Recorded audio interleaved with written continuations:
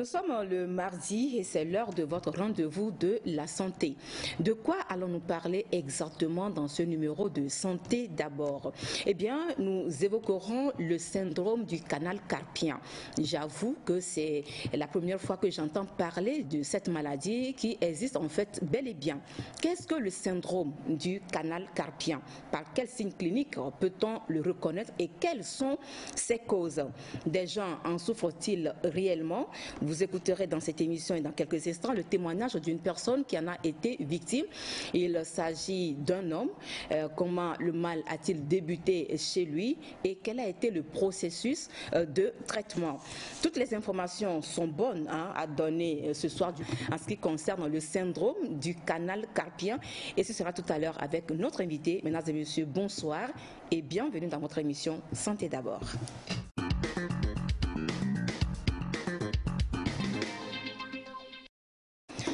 C'est un médecin neurologue que nous recevons sur le plateau, euh, professeur Monfou Bello. Il est le chef service neurologie de la clinique médicale du CHU Sylvanus Olympio. Professeur Bello, Bonsoir. Bonsoir Madame Peto. C'est un plaisir de vous avoir avec nous ce soir. Merci. Comment allez-vous? Je vais très bien. Alors, je le disais tout à l'heure dans mon introduction, à l'entame de cette émission, que nous allons parler du syndrome du canal carpien. Et je le disais aussi que c'est la toute première fois que j'entends parler euh, de, de, de, ce nom, de cette maladie. Et ce soir, vous allez nous édifier sur cette pathologie. C'est bien le cas. C'est ça. Merci beaucoup, professeur. Alors, permettez, professeur, que nous projetions à l'écran euh, l'image illustrative suivie de la brève explication euh, sur ce mal et surtout sur la morphologie de la main, puisqu'il s'agit euh, d'un mal qui attaque la main. Et c'est pour nous une manière de planter le décor et permettre à ceux qui nous regardent ce soir d'avoir une petite idée sur le mal dont on va parler. Alors, si, professeur, vous êtes d'accord avec nous, nous allons demander à la régie de nous balancer le tout premier sujet de cette émission. Euh, le nerf médian fait partie des trois nerfs qui assurent les fonctions motrices et sensitives au niveau de la main. Alors, en particulier, euh, le nerf médian, donc comme vous le voyez, passe par la partie médiane du bras à l'avant-bras, c'est ce qui est en jaune ici, et passe en dessous d'un ligament qu'on appelle ligament annulaire avant d'aller se diviser et assurer l'innervation du pouce, de l'index, du troisième doigt et la moitié du quatrième doigt. Alors, ici, comme vous le voyez, c'est cette partie motrice. Mais derrière, à la face dorsale de la main, ce sont les nerfs sensitifs qui y sont, qui assurent les fonctions sensitives, tout ce que nous touchons, tout ce que nous sentons, véhiculer ces informations jusqu'au niveau du cerveau, pour que le cerveau interprète ces sensations-là. Euh, si on peut aller plus loin. Donc voici le nerf médian dans sa traversée sous le ligament annulaire et qui va se diviser partager pour assurer les fonctions motrices au niveau des trois doigts et la moitié du quatrième doigt de la main. Donc, comme je l'avais dit, il assure également des fonctions sensitives qui s'élaborent au niveau de la face dorsale de, de la main.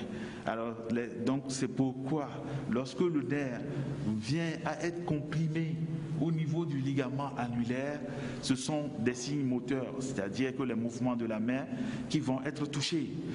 Euh, et, on aura également d'autres signes qui vont se manifester par des douleurs et qui vont se sentir autant au niveau de la face palmaire de la main qu'au niveau de la face dorsale de la main.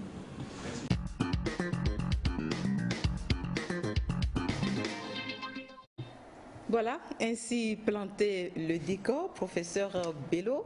C'est vrai que vous venez euh, de nous expliquer un peu euh, ce qu'on doit savoir, mais j'avoue que euh, l'explication telle que c'est donné, nous n'avons pas compris beaucoup de choses. Maintenant, les questions, les petites questions que j'ai préparées pour vous vont peut-être nous permettre de, mieux rentrer dans les explications et de comprendre de quoi il s'agit ce soir. Syndrome du canal carpien, qu'est-ce que c'est, professeur? Mofo. le syndrome du canal carpien, c'est l'ensemble des signes en rapport avec une irritation du nerf médian, ce nerf qui passe par la face, euh, euh, par, la, partie médiane de la, du bras, de l'avant-bras, avant d'aller au niveau des, doigts de la main. Comme, l'a montré tout à l'heure l'image. Oui. Et donc, ce sont ces symptômes-là qui sont à la fois des symptômes moteurs, donc des mouvements, mm. et des symptômes sensitifs, ce que nous sentons qui vont se déclencher progressivement et qui vont amener euh, malheureusement le patient à aller voir un soignant. Alors, euh, le, syndrome du canal carpien, c'est une maladie C'est, euh, je veux dire que c'est une manifestation. C'est l'ensemble de manifestations causées par certaines maladies. Hmm. Donc voilà, donc quand le nerf est comprimé, vous savez que le nerf a pour fonction euh, le, de véhiculer euh, du courant électrique, biologique, pour assurer euh, ce que je disais tout à l'heure, les fonctions motrices mm. au niveau de la main. Donc lorsque ce nerf est comprimé ou irrité, mm. ces fonctions ne s'assument pas correctement. Mm. Et donc nous allons avoir certaines manifestations qui sont d'abord euh, un malaise, un engourdissement au niveau de la main. Euh, on va se dire que c'est City qui nous a euh, attaqué. Après, c'est des crampes, parfois des fourmillements qui sont vraiment importants, surtout la nuit, des fourmillements nocturnes avec des crampes nocturnes, parfois aboutir au lâchage des objets. Voilà euh, un peu les signes moteurs et les signes sensitifs. Et à l'aboutissement, ça peut aboutir à ce que les muscles au niveau de la main soient atrophiés. Alors, mais, professeur, dans ma documentation, quelque part, j'ai lu que le syndrome du canal carpien, c'est une pathologie qui rassemble un ensemble de symptômes. Oui, c'est ça. Et ces symptômes, c'est ce que vous venez d'énumérer. De, mm. Les fourmillements, les crampes, une sensation de décharge électrique, et un, un agourdissement, etc., etc. Alors, si vous dites ce soir que ce n'est pas une maladie, nous, pour nous, c'est une maladie, c'est une pathologie, même si c'est un signe, ou bien l'ensemble des signes euh, qui provoquent ce mal-là. Mais de toutes les manières, c'est un mal. C'est un mal. Alors dites-nous, est-ce que des gens en souffrent réellement? Si est-ce qu'on peut avoir une idée sur le taux de prévalence? Les gens en souffrent? C'est une affection très fréquente, mais les gens ne le savent pas. C'est une infection très fréquente et surtout dans la population féminine ou chez les personnes qui travaillent dans le secteur artisanal, les mécaniciens, mm. euh, euh, les, menuisiers, les agriculteurs, les conducteurs de taxi-moto qui utilisent leurs mains. Donc c'est une maladie très fréquente mm. et qui arrive à nos consultations euh, le plus souvent mais je ne peux pas vous donner, euh, euh, je ne peux pas vous dire maintenant quelle est la prévalence, de cette maladie euh, dans notre pays.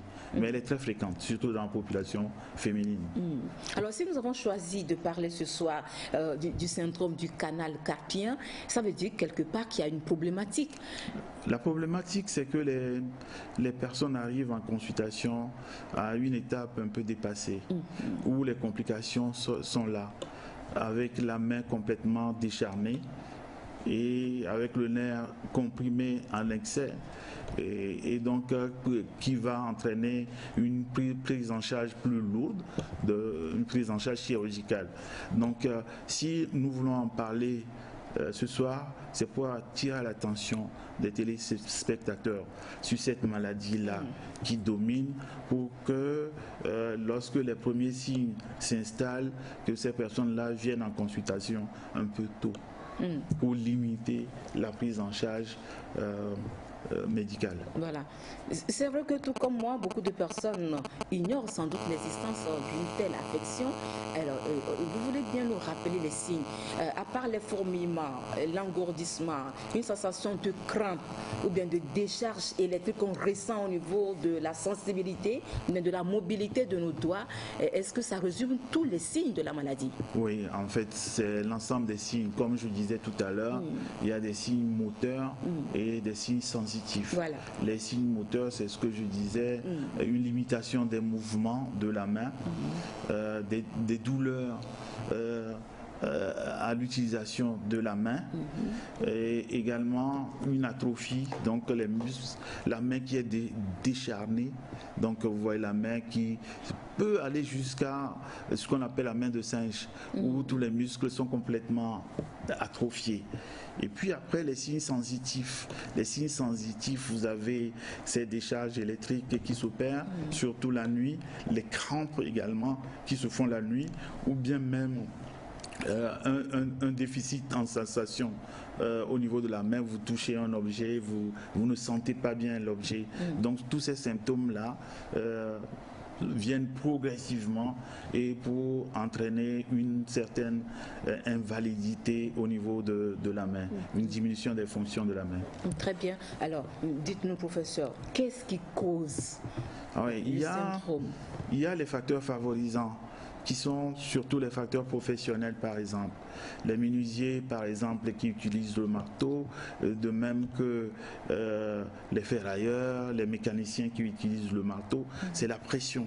Donc des petites pressions qui s'exercent au niveau du quotidiennement. Quotidiennement, au niveau de la main, mm. arrivent à, entraîner des micro-traumatismes au niveau du nerf et altérer les fonctions de ce nerf.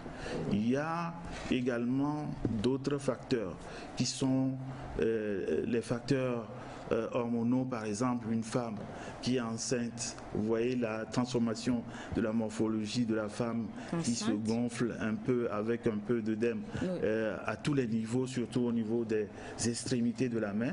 Mm. Donc cet œdème-là va comprimer au cours de la grossesse au cours de la grossesse ou bien après la grossesse, mm. le nerf et entraîner ce qu'on appelle le syndrome du canal carpien. Mm. Également, il y a des maladies, notamment le diabète. Quelqu'un qui a le diabète, vous voyez le diabète, euh, donc cela va entraîner un dépôt de certaines substances au niveau des nerfs, va les irriter, ces, ces substances vont les irriter. Il y a également euh, euh, l'hypothyroïdie, le, mauvais fonctionnement d'une glande qu'on a au niveau du cou, mm. cette glande qui, qui assure le fonctionnement de l'organe fournissant de l'énergie à l'organisme. Donc lorsque cette glande ne fonctionne pas bien, il y a un excès de mucus de ces substances dans l'organisme qui vont se déposer au niveau de ce canal-là et comprimer le nerf médian. Alors, il y a à côté de ça certaines maladies également, notamment euh, les maladies articulaires, les maladies rhumatismales, polyarthrite rhumatoïde aussi, qui peuvent en être les, causes, les causes mm. euh, de, cette maladie. Mm. Alors, est-ce qu'une fracture du poignet qui a été mal prise en charge ne serait-elle pas aussi une cause de ce syndrome du canal carpien? C'est possible. Si euh, la fracture est située euh, dans les environs du mhm. nerf médian, il peut avoir une petite lésion. Euh, il peut avoir un déplacement de l'os qui va aller comprimer le nerf ou bien ça va être un, la iatrogénie, c'est-à-dire que causée par le soignant, mm. la pose par exemple d'un plâtre mm-hmm. euh, à cet endroit-là euh, peut être à l'origine aussi du canal carpien, du syndrome du canal carpien. Mm. On, parle également d'une maladie de la colonne cervicale. Est-ce que c'est possible? Euh, La maladie de la colonne cervicale, là, c'est une autre, c'est dans le diagnostic différentiel. Mm. Au niveau de la colonne cervicale, le nerf médian est de là, hein, pour, pour, traverser le bras, l'avant-bras et aller jusqu'à la main. Mm. Mais ce nerf peut être comprimé à son origine au niveau du cou également mm. et entraîner des douleurs dans le territoire du nerf médian et qui sont différents euh, pour la plupart des douleurs pressenties au, niveau du poignet. Mhm. Mais c'est l'examen du médecin qui va permettre de faire qui va l'orienter la, la différence entre euh, une atteinte au niveau de la colonne cervicale et une atteinte au niveau du poignet. Ok, merci professeur. Nous allons évoluer dans cette émission avec euh, le tout premier témoignage. Je le disais dans l'introduction que nous avons réussi à interviewer un un malade, un ancien patient qui a souffert du syndrome du canal carpien qui, heureusement, euh, est guéri aujourd'hui. Alors, euh, c'est un homme d'une cinquantaine d'années qui euh, a eu ce mal. Aujourd'hui, il est guéri. Il est guéri après avoir subi deux opérations chirurgicales parce que ce sont ces deux mains qui, sont, qui ont été atteintes par ce syndrome-là. Nous allons l'écouter, nous décrire un peu comment le mal a commencé, quels sont les symptômes ou bien les signes cliniques qu'il ressentait et comment s'est fait le traitement. Nous allons écouter tout de suite ce premier témoignage et on revient après sur le plateau. J'ai suivi des opérations dans les poignets des deux mains suite à une douleur que je n'arrivais plus à supporter. Et ça commence par des douleurs intenses comme des crampes et je n'arrivais même plus à tenir quelque chose, si bien que euh, ça me faisait penser. Et souvent, quand je prends ma voiture pour un long trajet, je suis obligé, en cours de route, de m'arrêter et descendre bien pour bien secourir les mains afin que je, afin que je retrouve le sens de mes, de mes mains. Et ensuite, souvent la nuit aussi, quand je dormais, et je me réveille en plein sommeil de ces problèmes si intenses, si bien que c'est comme des crampes et des fourmillements qui ne me laissent pas dormir la nuit. Alors, alors quand je me réveille encore, je dois encore secouer mes mains, secouer mes mains avant que je ne retrouve mes mains. Et souvent on appelle ça chez nous les vidéos dans l'eau à l'eau, crampe l'eau. Donc au début, je ne savais pas que c'était une maladie. Je suis parti voir mon généraliste et sur son conseil, il m'a dirigé vers un neurologue afin de procéder à des examinations approfondies. Et c'est là où le neurologue a décidé que je souffrais d'une maladie des nerfs médians au poignet par compression au niveau du canal carpien. Donc, euh, lorsque le neurologue a décelé cette maladie, il m'avait conseillé plusieurs propositions. Premièrement, le traitement orthopédique.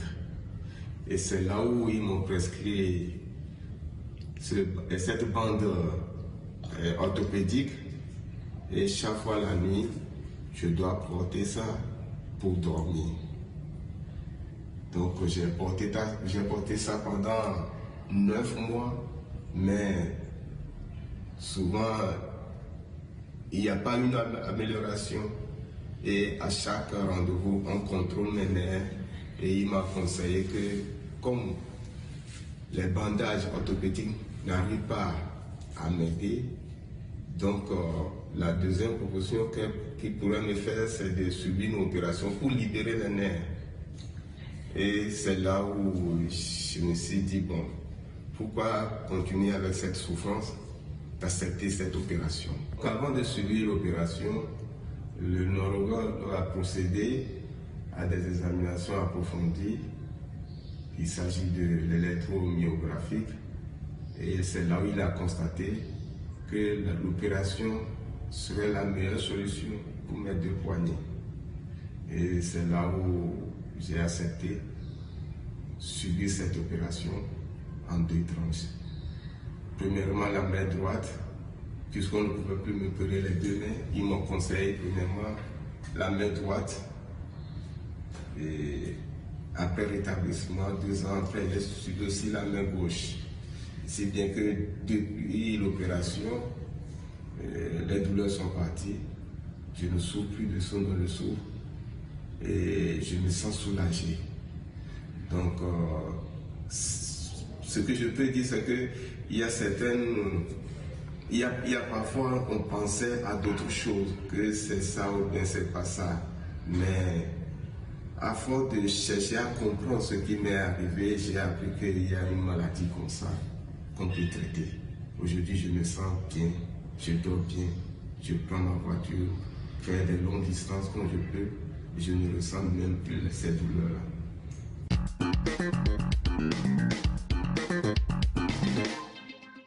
Voilà, euh, je voudrais rappeler à nos chers téléspectateurs que ce patient guéri en question n'a pas été pris en charge ici au Togo. C'est un Togolais, mais il réside en Allemagne et c'est dans la recherche de la documentation pour agrémenter mon émission que je suis tombée sur lui. Il a accepté de m'envoyer une vidéo et donc tout ce témoignage et toutes ces photos, ces clichés-là sont des images réelles. Professeur, syndrome du canal carpien, euh, le monsieur, c'est de ça il a souffert par rapport à tout ce qu'il a dit dans son témoignage. C'est la description. Et je pense que c'est une affection qui est très gênante, hein, mm. qui est très gênante surtout la nuit, qui empêche surtout de dormir mm. et avec une qualité de vie qui est exécrable. Mm. Et donc, comme je disais tout à l'heure, elle est fréquente mais mal connue. Mm-hmm. Euh, le, au Togo, on peut le diagnostiquer, on peut le prendre en charge également. Donc c'est l'occasion d'attirer l'attention euh, de nos téléspectateurs par rapport à ce mal qui ronge, euh, qu'on banalise, mais en fait qui peut détruire complètement la qualité de vie. Hum, hum, merci beaucoup. Alors, il a dit, euh, quand ça a commencé, vous-même vous l'avez, vous, en avez fait allusion tout à l'heure, il y a certaines maladies qui se ressemblent de par les signes, les symptômes. Alors, pour pouvoir diagnostiquer le mal en question, il faut passer en dehors de l'examen clinique, il faut passer par des examens beaucoup plus approfondis. Il l'a souligné. Et l'électromyogramme, c'est l'examen en question qui permet de diagnostiquer ce mal-là. Est-ce que c'est exact? C'est exact, mais cliniquement aussi, on peut le poser le diagnostic. Mm-hmm. C'est vraiment caricatural avec les symptômes. On connaît euh, comment le nerf médian est distribué au niveau de la main. Mm. Également par le simple toucher au niveau du canal carpien mm. avec le doigt du médecin, ça déclenche une décharge électrique au niveau de la main. À, partir de cela, le diagnostic peut être posé. Mais pour confirmer le diagnostic, on est parfois obligé d'aller à l'électronneuromyographie mm. et à partir des données qu'on va recueillir sur la fonctionnalité du nerf, euh, le diagnostic paraît évident. lorsque, lorsque le, canal carpien, le syndrome du canal carpien euh, n'est pas vite diagnostiqué et que les symptômes décrits tout à l'heure persistent, euh, que va-t-il se passer? Que se passe-t-il? Est-ce que le mal va évoluer vers une certaine aggravation? Le mal peut évoluer progressivement vers une certaine aggravation sur le plan personnel. Par mm. exemple, quelqu'un qui est manuel, qui travaille, donc euh, il va progressivement euh, perdre sa, euh, sa, fonction. Mhm. il ne peut pas, supposons une secrétaire qui doit utiliser ses deux mains mhm. pour utiliser le clavier, a souvent ces signes, bon, elle pourrait être reclassée si le diagnostic n'est pas fait. Mais sur le plan, vraiment au niveau de la main en tant qu'organe, euh, la main sera complètement décharnue à la fin et donc cette main ne servira plus à grand chose. Mhm. C'est avec la main qu'on mange, c'est avec la main qu'on fait, beaucoup de choses. fait beaucoup de choses. Et si on perd euh, cette euh, fonction-là, vous voyez ce que ça peut entraîner sur le plan personnel mm. et sur le plan professionnel mm. et social. Voilà. J'ai découvert également que euh, l'âge d'apparition de ce syndrome du canal carpien, c'est à partir de 50 ans. 50 ans pour les hommes, mais pour les femmes, euh, ça commence déjà vers la, la période... Ménopausée? non, non, non, non, Bien avant. Où elle est active. Euh, euh, où elle va être enceinte autour de 24-25 ans, mm. ça peut commencer chez la femme. Elle est euh, précoce chez la femme mm. et vers la ménopause, c'est vraiment rare qu'on en trouve vers la mm. ménopause, mais c'est surtout dans la période d'activité sexuelle où on peut évoquer cette maladie. Très bien. Mais, mais celui dont nous allons écouter tout à l'heure, le témoignage n'est pas une femme. Le professeur n'est pas une femme, mais c'est un jeune homme d'une vingtaine d'années qui ressent également les mêmes signes. Alors, euh, comment est-ce que ce jeune d'une vingtaine d'années ressent ces signes? Nous nous sommes approchés de lui, il a accepté de nous parler de ce mal. Nous l'écoutons. Certaines fois, il m'arrive euh, de sentir des douleurs au niveau de mes mains. Euh, comment est-ce que ça se manifeste? C'est-à-dire, je suis là et euh, après un temps, je remarque que j'ai mal aux, mains et quand je veux toucher quelque chose, c'est comme du courant en fait. Je ressens des douleurs électriques au niveau de mes mains. Et si j'insiste à attraper la chose, ça augmente, la douleur augmente. Donc bon, je ne sais pas réellement euh, ce que c'est, mais je pense que c'est quand même une anomalie euh, qui se manifeste ainsi. Euh, donc voilà, je ne sais pas d'ailleurs comment, comment, comment est-ce que ça, s'appelle, mais je suis sûr que ce ne sont pas des crampes parce que ça, ça dépasse les crampes. Ça dépasse les crampes et souvent c'est au niveau de mes mains que je le sens. je ne le sens pas à d'autres parties de mon corps. Quand ça m'arrive, je, je laisse un peu mes mains et juste après un temps, ça passe elle-même, elle part comme ça. Donc bon, voilà un peu, euh, ça, ça m'arrive très très rarement. Euh, c'est pas une anomalie qui m'arrive euh, au moins une fois par semaine, non. Ça peut m'arriver peut-être six fois dans l'année. Je venais de me faire consulter et le docteur m'a expliqué un peu, je n'ai pas trop maîtrisé parce qu'il y avait des thèmes techniques et tout. Mais ce que j'ai retenu en finish, c'est que c'est une anomalie qui venait de commencer parce que D'après les chiffres qu'il m'a donnés, il m'a dit que c'est pas grave. Et la maladie même, c'est pas une maladie grave, mais c'est quand même une maladie qu'il faut corriger. Parce que quand ça persiste, ça persiste, ça grandit. Euh, il m'a dit que voilà, quand ça, grandit, euh, on n'a plus de muscles au niveau des mains. C'est-à-dire vos mains deviennent comme des mains de singe. Et euh, pratiquement, on a l'impression que vous avez que d'eau au niveau de, de vos mains. Et quand ça arrive à ce niveau, il suffit juste de toucher un petit truc et vous ressentez ça à un degré très très fort. Et à ce niveau, je pense que ça devient très grave. Donc voilà un peu, le, docteur m'a rassuré euh, que quand même je pourrais passer et faire euh, une analyse euh, qu'il m'a conseillé. Donc bon, je le ferai le plus tôt possible. Hein. Donc voilà, voilà un peu la maladie.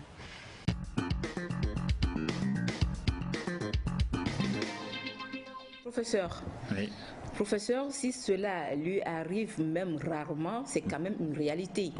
Et tous les signes tels qu'il vient de les décrire, il s'agit bien du syndrome du canal, un début du syndrome du canal carpien. Alors ici, l'âge n'est pas un facteur. Qu'est-ce qui peut être la cause de ce mal chez les jeunes de, de, cet âge-là euh, Comme je disais tout à l'heure, euh, je ne sais pas quelle est sa profession, mm. quels sont ses antécédents, mm. et je parlais des micro-traumatismes. Donc les petits, il peut, ça peut être les sports, hein. par exemple jouer au handball, au volleyball, euh, utiliser sa main, faire des travaux domestiques aussi, mm-hmm. peuvent être des facteurs favorisant la maladie. Tout à l'heure, on, donnait les âges, mais c'est des âges, euh, c'est la moyenne. Hein. Mm-hmm. Donc on peut avoir tous les extrêmes. J'en ai vu chez les enfants aussi. Ah. Oui, j'en ai vu chez certains enfants. Certaines, certaines jeunes filles de 12-13 ans euh, qui présentait un syndrome du canal carpien. Mm. Bon, euh, comme je disais, il y a d'autres facteurs qu'il faut euh, chercher et à corriger. Mm. L'essentiel, c'est pas de traiter chirurgicalement, mais il faut aller à la cause, aux facteurs, enrayer ces facteurs-là pour mm. que qu'il n'y ait pas de récidive. Alors, nous allons parler maintenant, aborder le volet traitement. Des, des fourmillements comme l'a dit le premier témoignant, des fourmillements et une sorte de sensation d'engourdissement et tout. Euh, ce sont là quelques signes hein, du syndrome du, canal carpien. Euh, est-ce qu'on peut, par un simple massage du kiné, soulager ce mal-là? Est-ce que c'est possible? On va commencer par la professeure. Là, le, traitement par kinésithérapie, mm. euh, c'est pas vraiment bien conseillé au début. Mm. Euh, parce que là, lorsqu'on va toucher la main, tout ça, on va aggraver les symptômes, mm-hmm. puisque le nerf est déjà irrité. Mm. Il suffit de, toucher la zone où on va, on va aggraver les symptômes. Donc, ce qu'on conseille, c'est d'immobiliser la main par le, euh, le gant mm-hmm. qu'on a vu tout à l'heure. avec euh, euh, votre le premier témoignant. Le, premier témoignant, on peut immobiliser donc la main pour éviter des mouvements mm. traumatisants pouvant déclencher la douleur maintenant, euh, pour le proprement, non, eh, excusez-moi, pour le traitement, j'allais dire autant pour moi, chers téléspectateurs, pour le traitement proprement dit, hmm. comment ça se passe? Il y a plusieurs étapes. Hmm. Euh, le premier conseil, c'est là le plâtre, hmm. le, le, gant. Mais comment arrive-t-on à la chirurgie? La telle. Après ça, on a un autre traitement médical qui consiste à infiltrer à, infiltrer. Donc c'est avec une aiguille qu'on infiltre la main au niveau du canal carpien, là où passe le ligament. Mm. Et là, le fait d'avoir envoyé ce médicament, qui est un anti-inflammatoire, va lever l'inflammation et permettre au patient de sentir un minimum ou bien de ne plus sentir les douleurs. Et si jamais euh, ça ne marche pas ou ça récidive, c'est à partir de ce moment-là mhm. qu'on s'adresse au chirurgien. Mhm. Et le chirurgien va euh, utiliser ces méthodes pour pouvoir libérer le nerf. Mais actuellement, euh, il y a d'autres méthodes hein, qui sont comme les méthodes de célioscopie. Mhm. Donc, c'est pas sonde qu'on met au niveau de la main. Euh, et, qu'on arrive à l'aide de caméras à regarder ce qui se passe tout autour du nerf, libérer le nerf de, de ces, agresseurs et, donc, euh, donc traiter le malade. Mm. Bon, euh, nous ici encore, on utilise cette méthode un peu radicale où on ouvre un peu largement la main au niveau de la paume mm. ou bien au niveau du poignet pour pouvoir prendre en charge le nerf euh, qui souffre. Hmm. Donc on, retient deux traitements possibles. Euh, je traitement médical et traitement, chirurgical. Traitement orthopédique. D'abord. Oui. Après, si ça ne marche pas, traitement médical par infiltration. Hmm. Si ça ne marche pas, c'est à partir de ce moment qu'on va utiliser les techniques chirurgicales pour pouvoir aborder le nerf et le libérer. Hmm. Soit par euh, caméra, par son caméra ou bien en utilisant le bistouri pour libérer donc la main. Mm. Après, ce sera des étapes de rééducation et la prise en charge des facteurs favorisant la maladie, mm. comme le diabète, comme euh, l'hypercholestérolémie, le, taux de cholestérol qui est grand, ou bien même euh, d'autres maladies inflammatoires. Mm une question de curiosité, professeur. Dites-nous, euh, par rapport au choix du protocole de traitement, mm. est-ce que cela va dépendre de l'évolution de la maladie ou bien de sa gravité? Oui. Lorsque la maladie, le malade arrive à une étape déjà très grave, mm-hmm. avec la main décharnue, très douloureuse, mm. tout et tout, je pense qu'on n'a plus le temps de passer aux différentes étapes. On va aller directement à l'étape de, la chirurgie pour libérer les nerfs. Mm. Et ça se fait souvent sous anesthésie locale. Euh, voilà. Mm. Nous allons évoluer euh, dans cette émission avec le, reste des sujets préparés dans le cadre du syndrome du canal carpien. Comme je le disais tout à l'heure, c'est vrai que beaucoup de maladies se ressemblent de par les signes que euh, le patient présente. Et maintenant, pour euh, que le médecin consultant, le médecin qui consulte soit situé sur le mal dont souffre le patient, à part l'examen clinique, il va vouloir procéder à certains examens pour pouvoir savoir le mal exact dont souffre le patient, c'est-à-dire que faire un bon diagnostic. Alors, dans le cas du syndrome du canal carpien, le professeur l'a dit, notre premier témoignant a aussi a, eu à le dire, euh, il s'agit d'un examen qu'on appelle l'électromyogramme en quoi va consister exactement cet examen? Et euh, qu'est-ce que le médecin neurologue va rechercher exactement Nous allons suivre cette séance de consultation, bien cette séance d'examen, l'électromyogramme, et on revient après sur le plateau. Restez tranquille. Ok.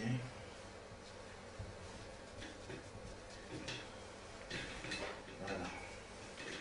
Je vais gérer les choses. Euh, euh, ça, ça, c'est c'est du petit courant. hein. Donc, on va commencer tranquille. On va commencer. Ça. Je vais mettre ça dedans. Voilà. Euh, et ici, j'ai stimulé au niveau du poignet. Et donc, voilà la réponse que ça donne, et qui est ici. Mais le temps de latence, comme on dit, le temps où j'ai, nous avons euh, excité, le, le, stimulé le nerf, c'est 4,1 millisecondes au lieu que ce soit 3,5. Et maintenant, quand on stimule du point A vers le point B, la vitesse que ça donne, le courant traversant le nerf, c'est 57,4 mètres par seconde.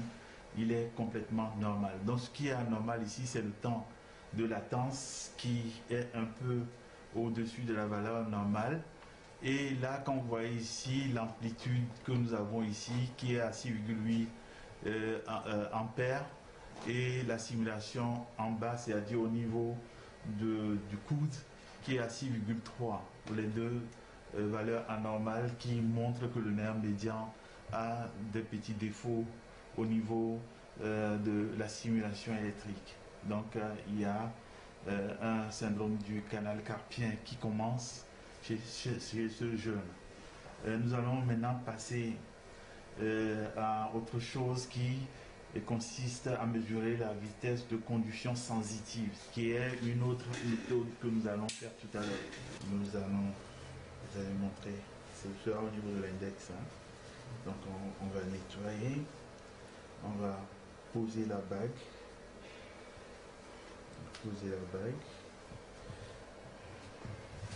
On va mettre en place un gel euh, qui va nous permettre de conduire, de capter l'électricité. Et nous allons passer maintenant aux choses euh, sérieuses. Et là, nous allons y aller.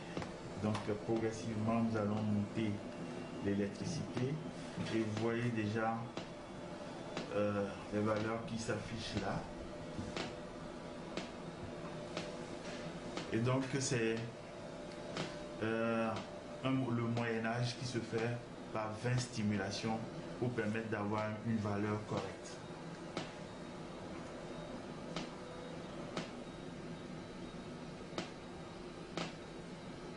Voilà. Maintenant, je vais mesurer. Donc, euh, c'est à 12 cm. Et je vais marquer les 12 cm là. Et ça va nous donner 60 mètres par seconde, ce qui est tout à fait correct. Et également, ça nous montre également l'amplitude, le temps de latence aussi. Ça, au niveau de- des vitesses de conduction sensitives, tout est correct. C'est seulement au niveau des vitesses de conduction motrice qu'il y a un syndrome du canal carpien à son début. Voilà, donc euh, voilà. Et là, je vais avoir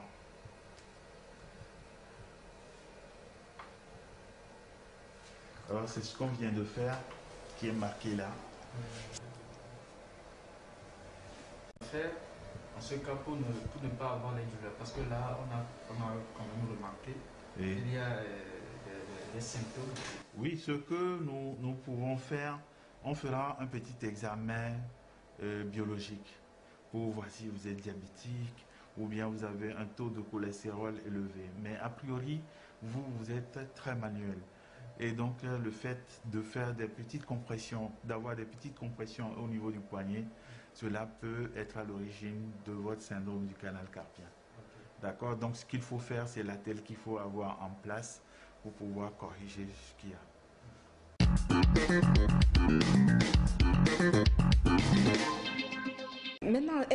avoir une idée sur, euh, professeur, dites-nous, est-ce qu'on peut avoir une idée euh, sur le délai de récupération après le traitement? Euh, le délai de récupération dépendra de chaque individu, mm. chaque personne donc. ses antécédents, quelqu'un qui est âgé, euh, ça va être un peu lent par rapport à, une personne qui est jeune. Mm. Et donc, euh, ça peut durer, hein, ça peut aller jusqu'à un an. Mm. Nous avons vu le, premier témoin tout à mm. l'heure qui nous parlait de, de 8 mois ou bien 2 ans, oui. avant qu'il ne récupère complètement. Donc, ça va progressivement.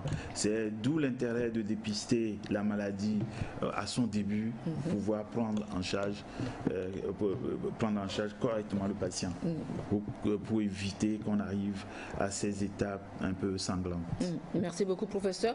Mesdames et messieurs, nous sommes, vous le savez très bien, nous sommes toujours euh, dans la pandémie au nouveau coronavirus et avec euh, le nouveau Delta indien et la progression des cas euh, contaminés qui augmente de jour en jour dans notre pays, il est aujourd'hui question pour nous, les médias, de maximiser la sensibilisation, surtout autour de la vaccination qui reste jusque-là la seule arme pour lutter contre ce virus. Nous sommes donc dans la page Covid. Tout de suite, le jingle.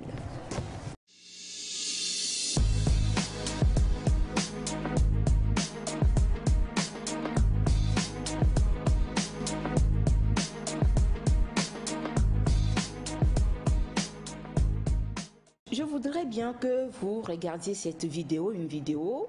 Cette vidéo, elle a été réalisée par un professionnel de la santé qui a fait passer un certain nombre de messages dont le plus important est l'appel à une adhésion massive à, la vaccination contre euh, la COVID-19. Je vous propose d'écouter son intervention, même si vous avez déjà vu cette vidéo puisqu'elle a circulé sur la toile. Je vous invite encore à méditer le contenu de cette vidéo et vous allez vous-même vous rendre compte qu'aujourd'hui, la vaccination reste incontournable si nous ne voulons pas faire la forme grave de la maladie. Regardez. Pour ceux qui vivent en ce moment en Afrique subsaharienne, la nouvelle vague a commencé. Dans certains pays, elle est déjà avancée. Les messages que je voudrais passer sont les suivants. Premièrement, je pense qu'on a assez tergiversé.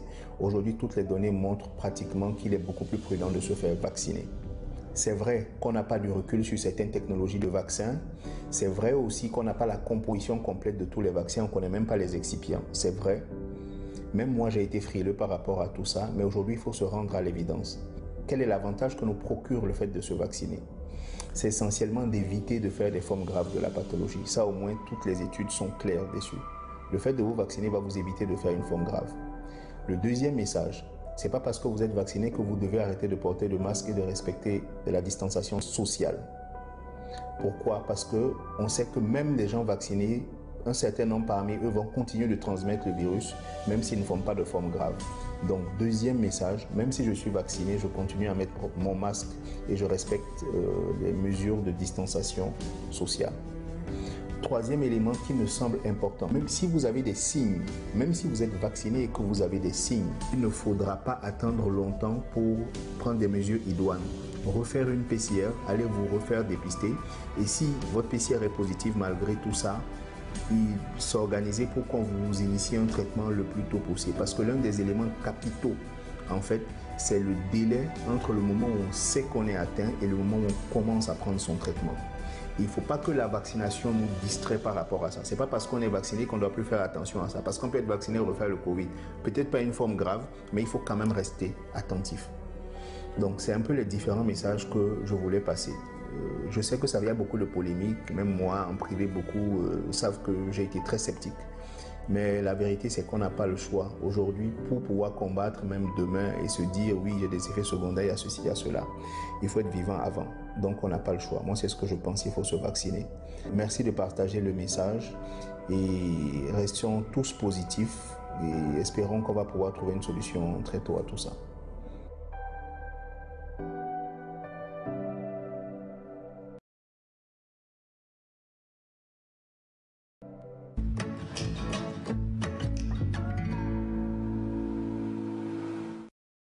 Professeur Bello, euh, la vaccination reste aujourd'hui, je le disais tout à l'heure, incontournable si l'on ne veut pas faire la forme grave de la maladie du Covid-19. Vous confirmez? Oui, je le confirme. Mais également, je confirme qu'il faut toujours, toujours continuer à respecter les mesures barrières, mm. les, mesures barrières que vous connaissez. Mm. Donc il faut les, euh, respecter ces mesures et malheureusement on continue toujours pas voir dans les rues, dans les maisons, dans les espaces des personnes qui ne portent pas de masque. Mm. Je pense que nous tous nous devons savoir que la maladie, elle augmente, le taux de prévalence augmente euh, en ce qui concerne le, cette infection et le centre qui prend en charge les patients est dépassé. Il faut qu'on s'en rende compte. C'est une affaire de tout le monde. C'est une affaire individuelle et elle est aussi collective. Mm. Nous devons aider les autorités à pouvoir endiguer ce mal qui tue également, qui tue également sur le plan économique. Mm. Hein, vous avez vu récemment, on a pris des mesures par rapport aux établissements scolaires. C'est à cause de ça. Mm-hmm. Donc, euh, il est important qu'on insiste là-dessus. Également, c'est le point de rappeler toutes les personnes qui ont des maladies non transmissibles, notamment le diabète, l'hypertension, l'obésité mm. et autres, à aller vers leur médecin pour avoir des conseils par rapport à leur traitement.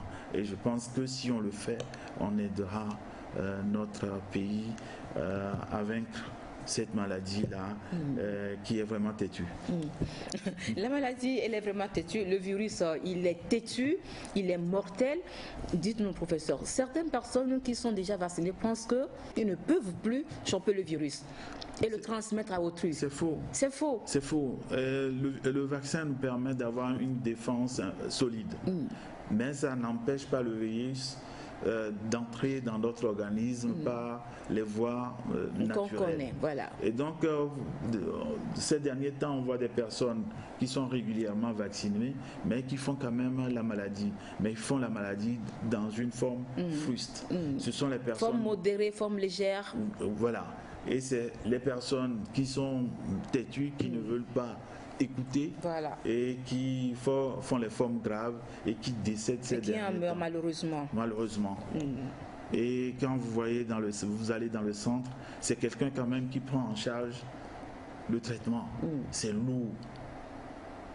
Et donc l'argent ne tombe pas du ciel. C'est vrai. L'argent vient de quelque part. Peut-être que c'est la cagnotte nationale. Mm. Il faut qu'on y pense c'est cet argent utilisé pour soigner les patients qui ne veulent pas, les personnes qui ne veulent pas rester, respecter les consignes pourrait aider quand même à faire d'autres choses pour la société. Pourquoi pas? Alors, merci beaucoup, professeur, pour cette page Covid que vous venez euh, d'alimenter avec euh, euh, ces, informations. nous allons la refermer pour continuer avec le reste des questions. Nous sommes ce soir sur le plateau pour parler du syndrome du canal carpien. Vous avez développé en long et en large depuis le début de cette émission quelques aspects de ce mal-là. Alors, dernière question, est-il possible de prévenir le syndrome du canal carpien? Vous l'avez dit tout à l'heure. En faisant la prévention du diabète, par exemple, on peut prévenir ce syndrome-là. Oui, du canal carpien. Et savoir utiliser sa main aussi, c'est là où c'est difficile. Hein. Euh, ceux qui utilisent les, marteaux piqueurs et, ou bien les marteaux... Euh, bien des appareils, bien des outils qui vibrent. Vibrent, tout ça. Euh, doivent, ce sont les personnes à risque. Et je pense que ces personnes-là on ne peut pas les empêcher de faire leurs travaux. Mais dès qu'ils sentent les premiers signes, mm. ils doivent aller vers un soignant pour être pris en charge très tôt mm. pour éviter euh, de perdre la fonctionnalité de la main. Mm. Autre chose pour prévenir le syndrome du canal carpien, c'est tout, professeur? Bon, c'est pas tout. Autre chose, on tombe dans la prévention des maladies non transmissibles, mm-hmm. notamment le diabète, la pratique du sport, mm-hmm. euh, euh, manger moins sucré moins gras, moins, salé. Et donc on tombe dans ce qui est basique. Donc ça nous amène à ça. C'est ça. D'accord. Voilà, mesdames et messieurs, nous sommes pratiquement arrivés à la fin de cette émission. Il a été question du syndrome du canal carpien. Et comme je l'ai dit, je ne cesserai de le répéter. C'est la première fois que moi j'entends parler de ce mal. Euh, ce soir, euh, ceux aussi qui regardent l'émission, Santé d'abord, ce numéro particulièrement, euh, et qui n'ont jamais entendu parler de ce mal. Le professeur, il a été assez clair. Lorsque vous avez de ces signes dont on a parlé dans cette émission, à un moment donné, vous sentez des fourmillements dans, dans, vos mains. la nuit, vous ne dormez pas, vous vous, vous, réveillez par cette sensation. Euh, n'hésitez pas euh, à aller consulter aller voir un neurologue. Professeur, c'est neurologue. Le, neurologue qui est le spécialiste. Le médecin généraliste peut s'en occuper, mais c'est essentiellement les rhumatologues, mm. euh, les, neurologues et parfois les neurochirurgiens et les orthopédistes qui, qui, qui ont ces malades. Et, les diabétologues aussi mm. en reçoivent mm. dans les complications de, du diabète. Du diabète, voilà. Puisqu'il s'agit du nerf médian, c'est ça, Il est bien retenu, du nerf médian. Du, du nerf qui passe dans la partie médiane mm. euh, au niveau de, du membre supérieur. Voilà. Votre message, le dernier mot Le, dernier mot, c'est que c'est une maladie qu'on peut euh, éviter, comme on l'a dit tout à l'heure, mm. mais également, il faudra consulter très tôt pour se faire prendre en charge, n'est-ce pas, sur le plan orthopédique. Mm-hmm. Une immobilisation de six semaines, par exemple, pourrait suffire à calmer le mal. Mm-hmm. Merci beaucoup, professeur. Voilà, mesdames et messieurs, c'est la fin de cette euh, émission.